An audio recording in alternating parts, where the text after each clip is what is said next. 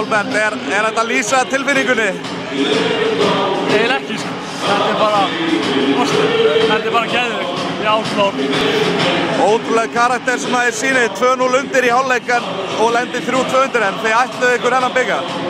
Við vorum tvörnum undir í, í hálfleik og hérna, hann kom inn í hálfleikin sem ekki frekar svegt, við fengum okkur víti sem okkur fannst kannski ekki verið víti, ég veit ekki, ég hef ekki séð það ennþá. Svo í hálfleik höfum við trú á þessu, við heldum að tala um það, ná fyrsta markin inn værum alltaf komin inn í leikin og, og vorum alltaf ánægði með þetta bara að ná að setja tvö mörg, Lítur að- á. Sér skoðum við þriða marki og við jöfnum og komum tilbaka sem er bara frábært og ég er mjög stoltur að strákum að klára hann og það er ekki vitsmingjarnir. Lítur að vera ánæður með þína framistöðum, hann er að kalla þið Big Game Holbert. bara, ég er mjög ánægð með það líka, það er bara gaman. Þú varst ískaldur á punktinum, vissur allan tíman hvað allar að setja hann. Já, já, maður í svona leik en það fann það kannski ekkert mikið. Það er alltaf gaman að hóra punktin. Það er greiðlega þýðinga mikið að vinna svona byggar, menn er í þessu fyrir þetta.